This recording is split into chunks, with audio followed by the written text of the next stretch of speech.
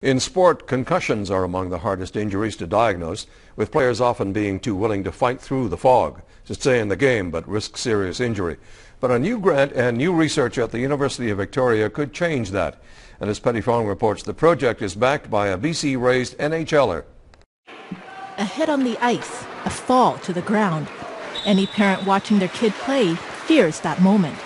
Now researchers at the University of Victoria are part of a team studying how concussion affects young people. They say standardized research and data is needed so scientists can better understand the symptoms of a traumatic head injury. Anytime they get a concussion, their ability to perform the game drops dramatically, almost in half.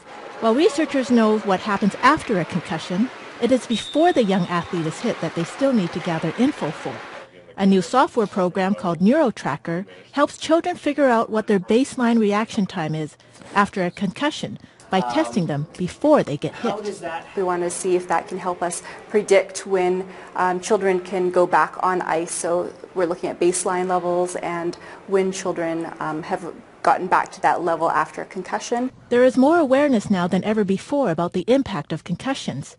NHL star Sidney Crosby missed some of his prime playing years because of concussions.